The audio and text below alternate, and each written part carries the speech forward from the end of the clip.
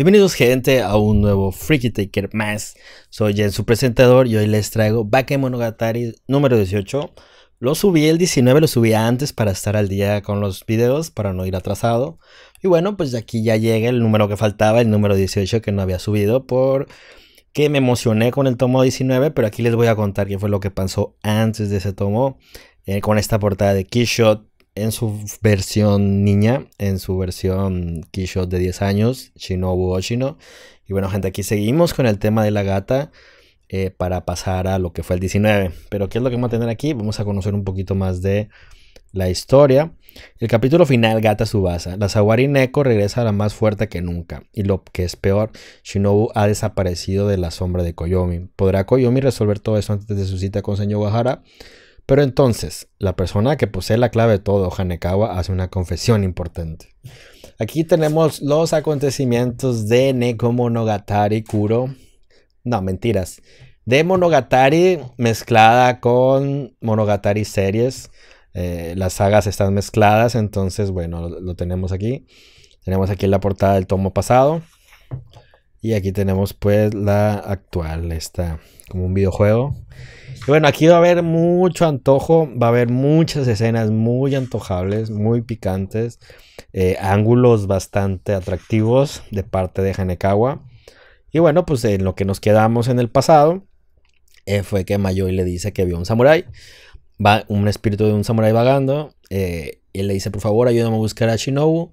Se perdió, yo buscaré a Hanekawa y a la vez buscaré a Shinobu también.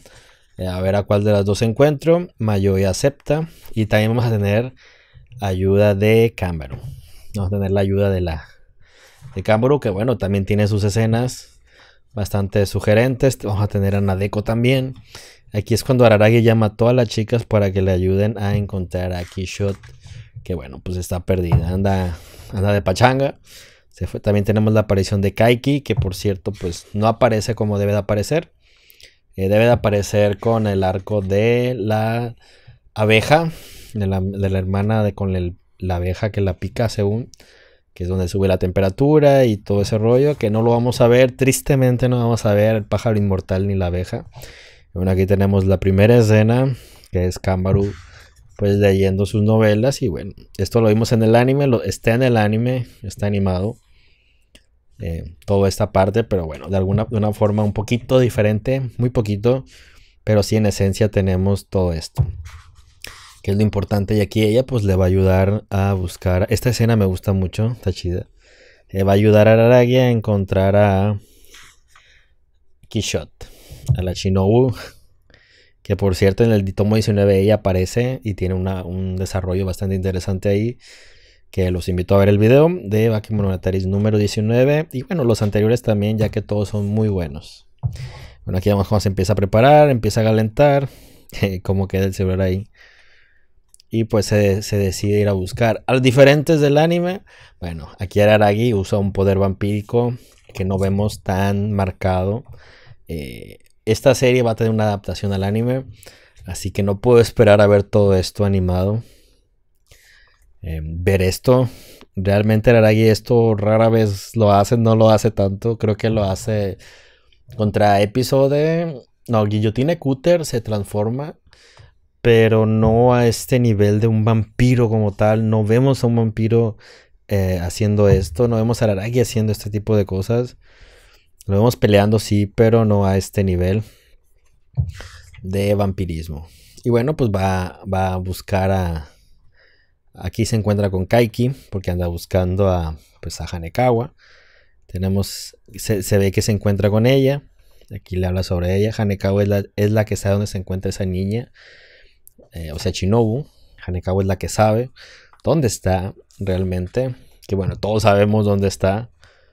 Esta parte me gusta porque dice corte por la línea, corte por la línea, corte por la línea corta por la línea. No lo corten. Ese es mi consejo. No lo corten. Esto no es para cortarse. Capaz en la versión japonesa había algo. Pero aquí no. porque no hay nada. No nada va a quedar aquí atrás. Y bueno, aquí ya se encuentra por primera vez con la gata.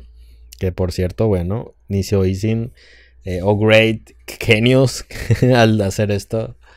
Eh, resaltar bastante, bastante, bastante la belleza de Hanekawa, de la gata. Em, este Neko, que por cierto los sombreados son excelentes. Aquí debo decir que no le está metiendo tanto detalle como en algunas tomas le mete más detalle. Como aquí, por ejemplo, que le agrega muchos elementos. Ese es el trabalenguas. Eh, que muchos conocemos. Los que vimos la serie, pues conocemos el trabalenguas. Aquí está escrito. Fue chistoso leerlo en la mente, así que los invito a que lo lean. Y bueno, aquí le voy a decir a que por qué no trae ropa interior. Ella le dice que sí trae y resulta que no trae nada. por eso la cara de, uh, uh, qué pena. Eh, obviamente que tenemos em, ciertas vicisitudes de que pues realmente la gata no está al 100% controlada por las caras que hace. Y bueno, Araragi le termina comprando la ropa y se la pone. Y bueno, van a tener un diálogo eh, bastante interesante. Esta portada la usé hace poquito, esta imagen, para publicitar la colección de 2023. Los invito a verla. Eh, mi colección manga 2023 actualizada de este año, que fueron las novedades, que series terminé. Ahí la pueden ver con buscando esa imagen en la comunidad en Facebook o simplemente y sencillamente entrando al panel de videos del canal van a poder encontrar completamente la colección ahí, el video de la colección. Y bueno, continuamos. después del comercial, vamos a tener aquí a la chica, pues, ayudando a Araragi a encontrar a Shinobu. Pero bueno, eh, como vamos viendo la historia, esta me gusta. Tiene un parecido a Grish Lane de Tensei y el tema de las orejas, el pelo, eh, que no se ve este ojito, los pechos.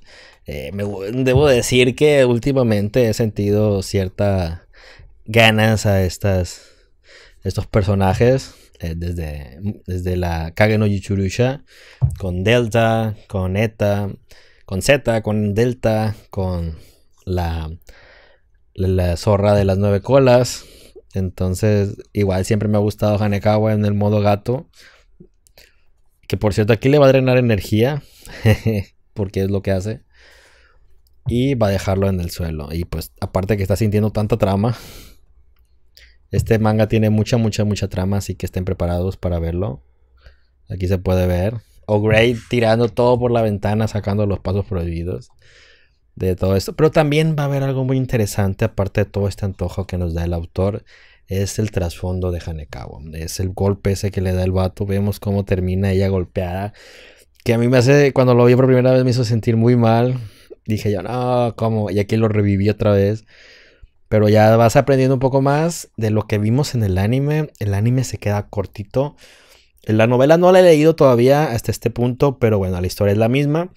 El golpe está, el, trasfondo está, pero aquí nos van a dar un poco más a entender a Hanekawa, sus motivos, ya que el autor se expandió por 4 o 5 libros.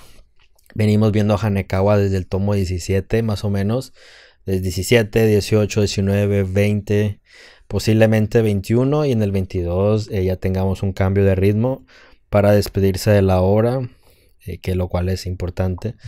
Pero aquí tenemos la confesión más importante de la historia y es la declaración de Hanekawa hacia Araragi, le dice él, mi ama está enamorada de ti, por eso tengo ese tanque de ansiedad. Eh, es un amor no correspondido y bueno, Espero que así lo entienda Araragi. Eh, así se lo hace saber. Aquí se lo dice. La causa eres tú. No es el único que puedo hacerlo, lo puedo hacer yo misma. Porque tú me gustas mucho, Nian. Aunque me haya convertido en un monstruo, te amo. Por eso tengo que saberlo. O sea, Araragi-kun, porque tú me gustas mucho, Nian. Pero aquí vemos que Hanekawa cambia completamente. Su, oculta sus orejas, su cabello vuelve a ser el de ella. Entonces es la Hanekawa que conocemos. Y obviamente, eh, pues de aquí dice, tú me gustas mucho, Araragi, y Araragi no lo puedo creer. Ese es el cambio de cuando ella toma esa sombrilla, se la pone, se cubre el rostro, y ella puede declarársele de esa forma. Se le declara sin la gata y se queda así un rato. Yo te amo. Nian. Agrega el Nian para que crea que es la gata y no la Hanekawa verdadera. Tremendo panel, tremenda. Que una mujer se te declare así. Wow.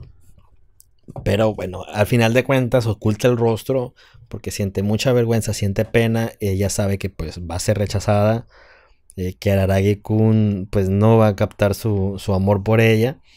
Y bueno, pues vamos a tener este momento de Araragi de duda del pasado, de todas las indirectas que le tiró, todas las cosas que le dijo, obviamente pues eh, hay ciertas eh, cosas que Araragi pues todavía se queda pensando, eh, no captó las indirectas y bueno, cuando termina de declararse y Araragi no lo puede creer, Hanekawa pues se retira esta sombrilla, pero también vemos que el tigre blanco está aquí, aquí es un tigre de tres cabezas y ese tigre, como en el tomo 19 ya les dije, pues representa los celos internos de Hanekawa hacia Kishot, hacia esta Hitagi y yo creo que por ahí un poquito a Kambaru, porque son tres cabezas, entonces debe haber tres, tres motivos. Eh, el, tercero me lo inventé yo, pero si es por Hitagi y pues Shinobu, ¿por qué? Porque Shinobu va a estar toda la vida con Araragi, eh, algo que Hanekawa pues realmente quiere eh, es, lo que realmente, pues ella quiere estar con Araragi también toda la vida. Y bueno, siente envidia y celos por Shinobu. Y siente celos por la novia actual. Que bueno, eso desarrolla al tigre blanco, que es el que se va a manifestar eh, con Araragi. Y bueno, de alguna forma tiene que sacarlo. Y como ya sabemos en el 19, pues vemos qué es lo que pasa, ¿no? Vamos a ver qué es lo que sucede con ella y sus sentimientos al final pues vuelve a retomar lo que es la gata, después de que Araragi no puede creerlo. Dice, por primera vez en mi vida me enamoré de alguien. Aquí está rechazando a la gata, a Hanekawa, obviamente. Y bueno, dice, pues ya veo.